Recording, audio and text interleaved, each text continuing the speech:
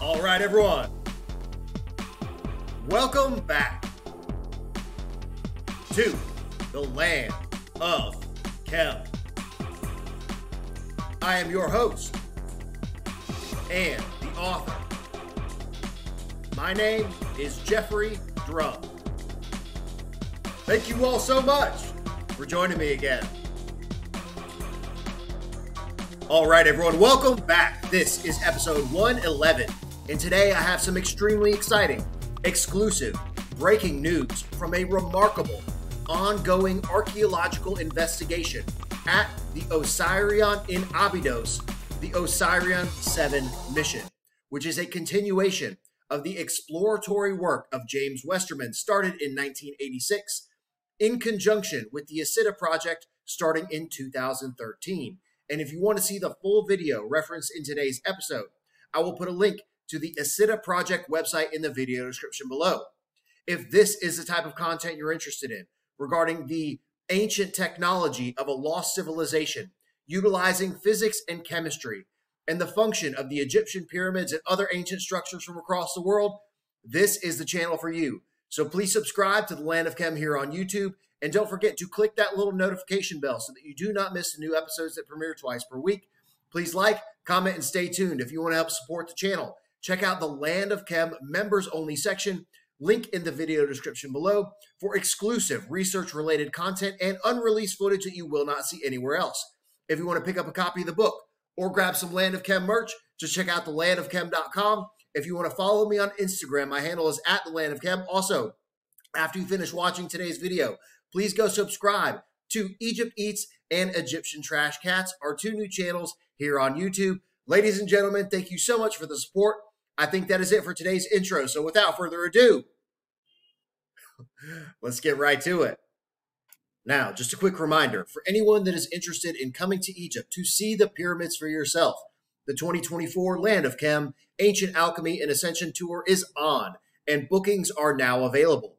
For a taste of what you can expect during this life changing adventure experience, check out the tour promo that just dropped last week. And if you want to join, please send me an email to contact at thelandofchem.com with the subject line 2024 Egypt Tour, and I will send you the full itinerary and pricing details. Thank you all so much, and I will see you soon here in Egypt. All right, everyone, here we go with tonight's episode. And in episode 84, link in the video description below, I presented an explanation of the configuration of the Osireion in anticipation and preparation for today's video. And now it is finally time to start revealing some of the absolutely monumental data that has been collected thus far during the Osireion 7 mission. So now, just a quick overview of the structure and I'll put a link to episode 84 so you can get caught up in detail. Here, you can see a top down image of the Osireion and the cells. Here, a 3D recreation by Keith Hamilton showing the water level inside the structure and the granite pillars. Again, by Hamilton with the granite roof beams still fully intact. And here are some images from the ISIDA Project's expedition to the Osireion, where they investigated this hole within the central island platform. That was also studied and probed by James Westerman in 2012. So now, Westerman, as the Osireion 7 mission lead, obtained permission from the Egyptian government for a full scale archaeological investigation titled The Osireion 7 Mission, which began in July of this year. And the primary objective of this mission is to determine the source of the water inside of the Osireion, which they have now proven is not connected to the Nile River. It is a completely independent water source. As you can see again here, depicted by Keith Hamilton. There is a mysterious source of underground water located directly below the Osireion. And during the recent conference for the Egypt Exploration Society on December 6th here in Cairo entitled Uncovering Abydos, the Osireion 7 mission team began to reveal not only the preliminary data that they have collected over the past six months, but they also gave some critical clues regarding the function of this structure. So now let's dive into the presentation that was shown at this conference. And here they stated one, that the Osireion is a low lying, largely subterranean structure.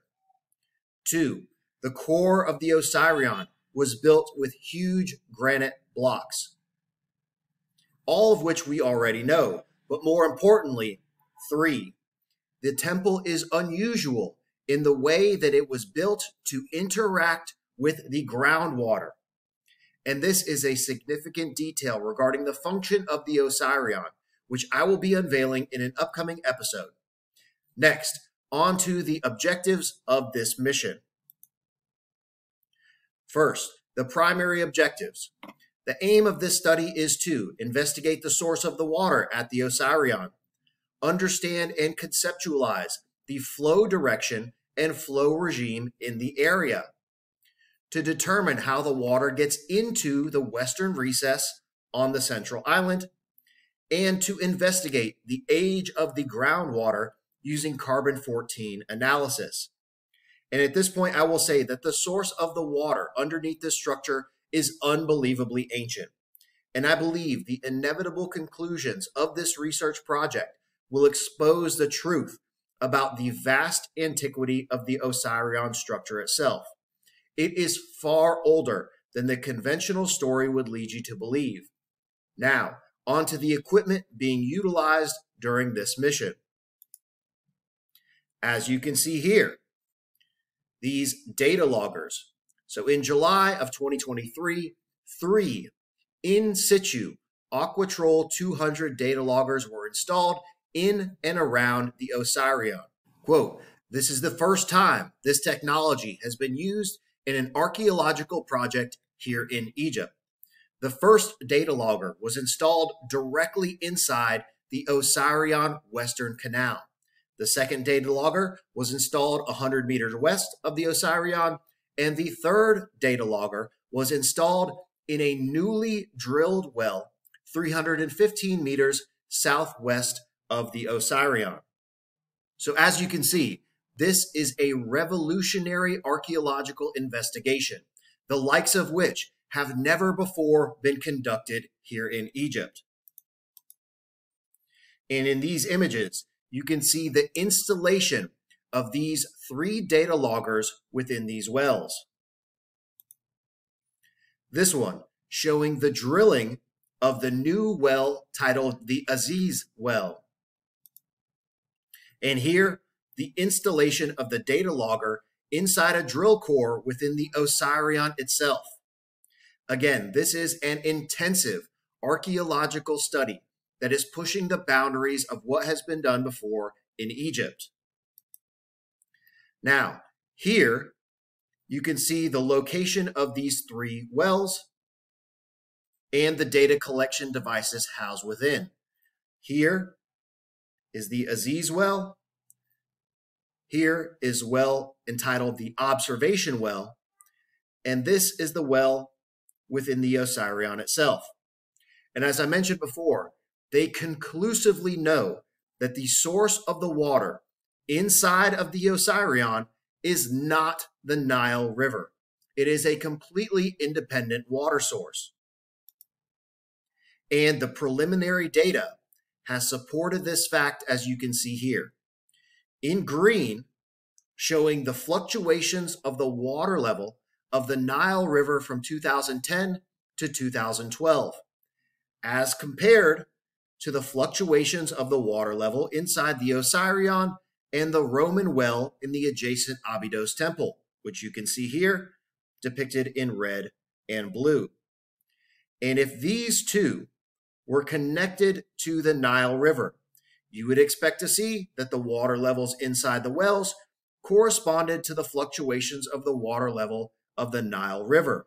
However, you can see that this is not the case as the source of the water inside the Osireion has no connection whatsoever to the Nile River.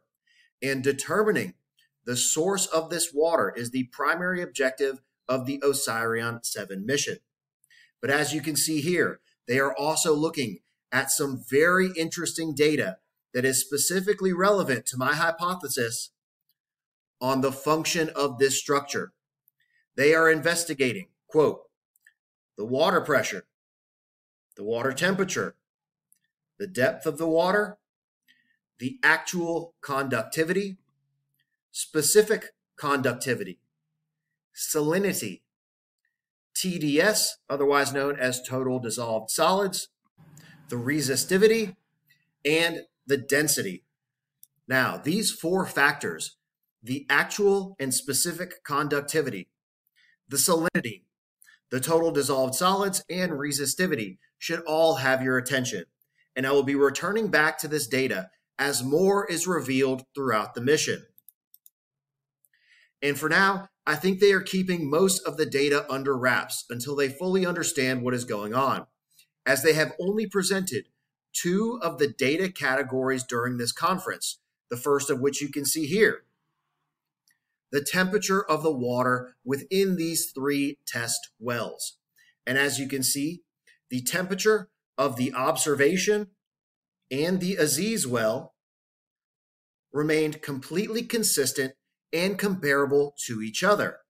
However, the well water inside of the Osireion experienced vast fluctuations over the past six months. The first indication that the source of the water below the Osireion is completely separate from that of the other two test wells. And this is where it gets really interesting. The source is not the Nile River, and the source is not the same as the other two test wells located in close proximity to the Osireion. Now, onto the conductivity. And you can see here that the specific conductivity of the observation and test wells, here in orange and blue, again remained very consistent and comparable. But there are vast fluctuations of the specific conductivity of the water within the Osireion, demonstrating once again the completely independent source of the water below this unbelievably ancient underground structure. And to conclude, I will quote here. The project is at a very early stage in the data gathering process. However, the existing data indicates first, that the water within the Osireion has distinct characteristics making it unlikely that it comes from the same source as the other two monitoring wells. Second, samples from all three sites are currently with an Egyptian laboratory to validate the data collected so far. Third, seasonal variations in groundwater conditions need to be established. We are very keen to establish the conditions over winter. More data collection will be necessary before firm conclusions and or hypothesis can be reached. And finally, we hope to be able to provide updates at future conferences. And that's where it ends for now. But, ladies and gentlemen, this is extremely exciting, important, intensive, and legitimate archaeological work that is being conducted at the Osireion. And I can tell you for sure that what they are investigating is of the utmost significance. So, if you want to see the full video referenced today, I will put a link to the ISIDA project website in the video description below. And I'm very proud to say that as a member of the ISIDA project team, you will also find my work prominently featured on their homepage. So thank you so much to everyone at the ISIDA project for giving me the opportunity to be involved and for having faith in my research. This is a dream come true for me to get recognition from such an exceptional organization. And coming up later this week on the members only channel, a New Year's Eve exclusive, I will finally reveal the function of the Avebury Serpent Temple Complex, including never before seen footage from Longstone's Cove with the Adam and Eve stones, and an explanation of the mythology of the feathered serpent god Kukulkan in relation to the function of Chichen Itza. I can honestly say that this is the best episode that I have ever produced, containing the most vital information that I have discovered. So if you want to help support the channel and get access to the exclusive content, you can join the members only channel, link in the video description below. All right, everyone, that is it for today's video. This was episode 111, breaking news from the Osireion 7 mission. I really hope you enjoyed today's video, and in this week's Sunday site visit, the spectacular footage from my expedition to the Heapstown Cairn and Caro Field. This is an episode that you do not want to miss, so if you haven't already, please subscribe to the Land of Chem here on YouTube and click that little notification bell if you're interested in the ancient technology of a lost civilization utilizing chemistry and physics and the function of the Egyptian pyramids and other ancient structures from across the world. If you want to help support the channel, check out the Land of Chem members only section and thelandofchem.com if you want to pick up a copy of the book or grab some Land of Chem merch. If you want to follow me on Instagram, my handle is at the Land of Chem. Also, don't forget, after you finish watching this video, go check out our two new channels here on YouTube Egypt Eats for food reviews and Egyptian Trash Cats for our adventures caring for our Egyptian street cat family. Ladies and gentlemen, as always, thank you so much for your support. I think that is it for today's episode. So I will see you next time.